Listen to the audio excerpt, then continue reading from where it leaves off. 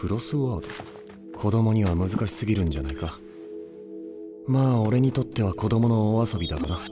縦1はホメオスタシス。横1は因果的平方性。その下はシンプレティック同窓写像。できたの？マジで？恐るべき知力。これなら入学試験も容易に突破できる。